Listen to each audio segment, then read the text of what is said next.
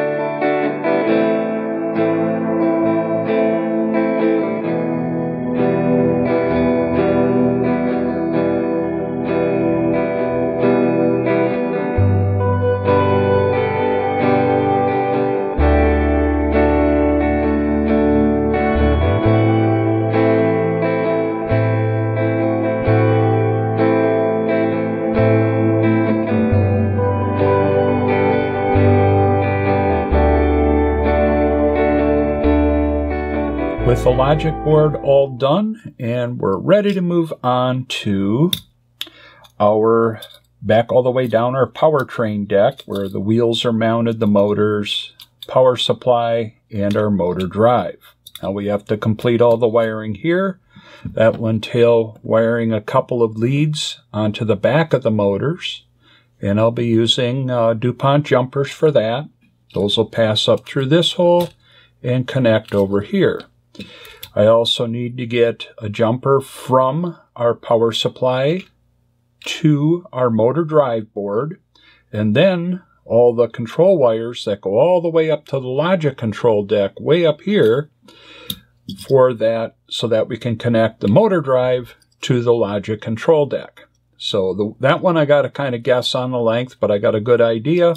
The rest I can kind of fit as we go along. So with that, I'm going to dive right in on all that assembly. Working from the bottom up, I'm going to add in jumper wires where needed, uh, usually using the pre-made uh, inexpensive jumper wires with the DuPont connectors on both ends. In this case, it's all female to female. And these are the inexpensive ones, which are super stiff and they make it far more difficult than this really needs to be, but in truth, I'm too lazy to go through and crimp on a bunch of ends with silicone jacketed wire uh, where they would be much more flexible. But it's just a tedious process. I'll have to solder on wires where needed, crimp on a couple of ends, and just work through it step by step, bottom up, all the way to the top.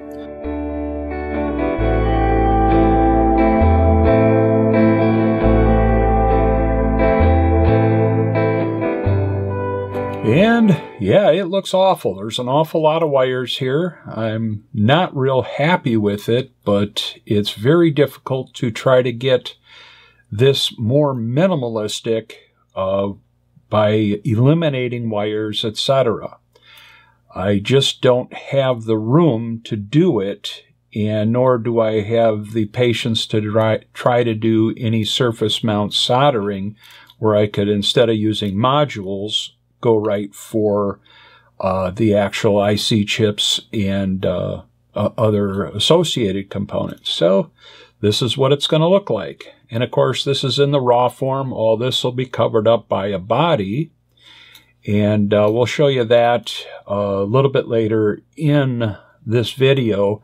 I've got a couple of crude ones that are almost acceptable, but I got to really work on the 3D printing for them. So from here, next up, we're going to start applying power and see what's going to happen. All right, let me show you what we got going here. Uh, these leads go back to one of my bench power supplies and I've got them connected to the terminals for our battery compartment without the 18650 cells in there. That way I can very carefully monitor current draw and uh, control things and not have to worry about wrecking things or at least giving myself a chance to stop things. I'm going to turn the power switch in the off position I have my VOM here, if they still call them voltometers, and uh, I'm just going to turn up my voltage on my power supply. I'm up at about 6.2 volts. Let me see what I'm getting at this one. I've got nothing there. That's a very bad sign. And let me check here and I've got nothing there. Oh, you know why? You got to turn on that power. Now this yellow LED is our power indicator. Oh, that looks good. Now we've got power. It's very dim, but at this point I'm only at 6.1 volts going into the whole system. Let's see what we got for voltages. Oh, that's better. 3.348. This one should be 5. Uh-oh. No. Oh, wait, I'm sorry. Yes, this one is also 3.3. This is the input and this is an output. Back here is the 5 volts. So if I go like that and like that, and we are getting 5.1 volts. I'd say that's looking pretty reasonable.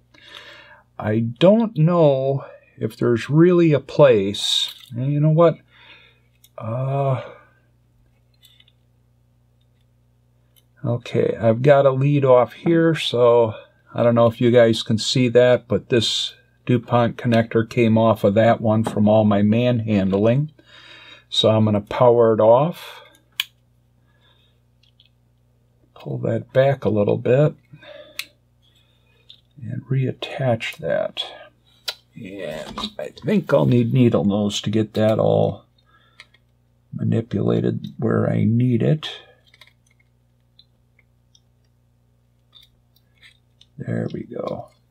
And that's the high voltage or this battery, essentially the cell voltage going into the power supply for the motor. So now what I want to do is find that spot again and I can try to get a voltage reading here.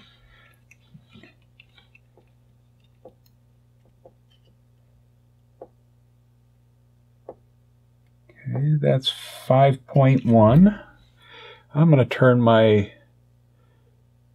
bench supply up to about 7.5 volts, which will be close to what we're going to get out of the dual 18650 cells.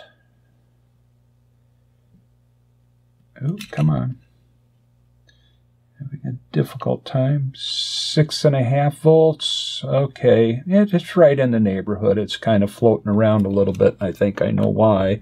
There's nothing commanding the motor to do anything at this time. And over here, we should get the same voltage as coming from the bench power supply. Seven and a half volts. So all around, my voltages are very close to where I want them. Next up, I will probably put the Pico in it. We'll power that up, see what we can do. I just want to get these two marker LEDs to blink as a test. And then to wrap it up, I think I'll throw the uh, the uh, batteries in it, and we'll see what happens with that to make sure all works out well. Well, we got it all together, and uh, I already powered it on and I ran into a very long diagnostics process. There is something wrong with this connector working with my time of flight sensor. So rather than delay the video, I'm going to pull that guy aside and then we'll go ahead with our further tests to get our blinking going on the front rear marker lights.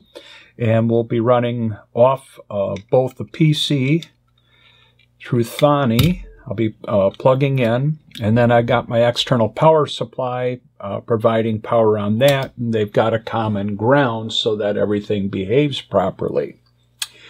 So we've got a very simple program here. I'm not really going to go into any detail on it. I'm just going to assign a few variables uh, that are pins that control the bicolor LEDs.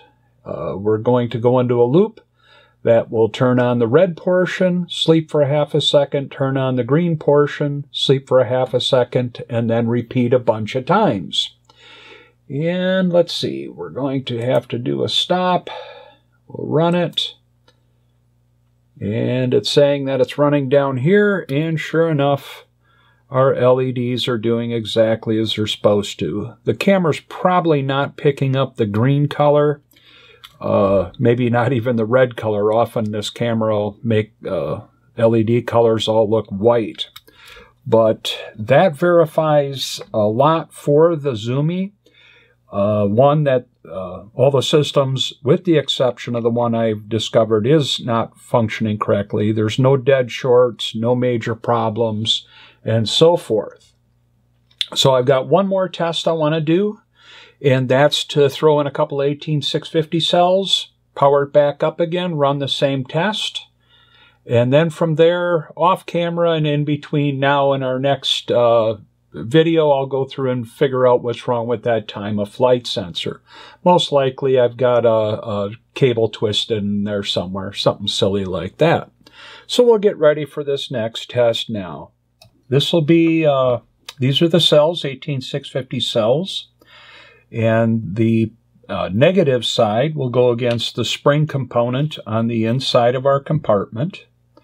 And then the positive side of the cell goes against the, the fixed portion, springs, and then fixed portions. And then this is almost a two-handed guy here. So now what I'll do is I'm going to push on this in then slide my little keeper in there.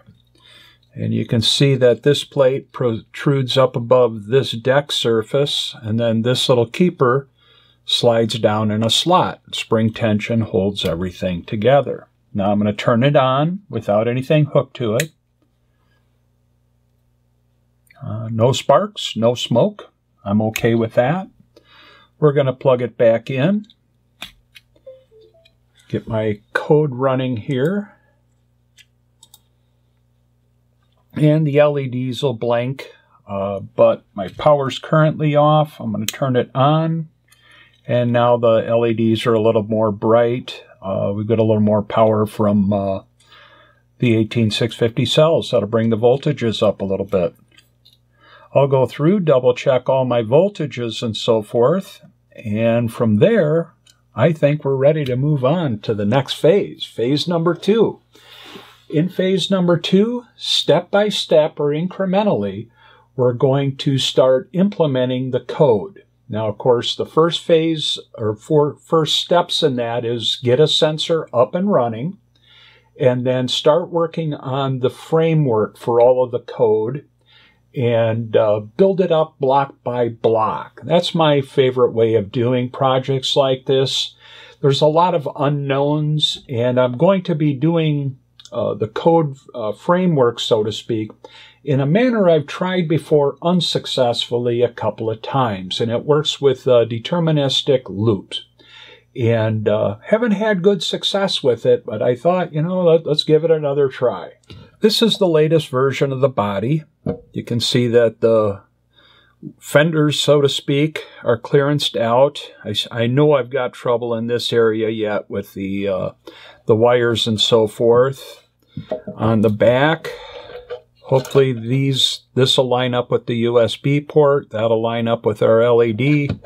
And this opening will give us access to our momentary switch, our power switch, and LED. And if we come around to the front, this will be where the time of flight sensor, the one that's giving me grief right now, that's how it'll see outside the case, and then that little hole will be for the front marker light. Now, as you can kind of get an idea, these cables all got to bend over, and these cables have to kind of bend in like that and not hit the tires.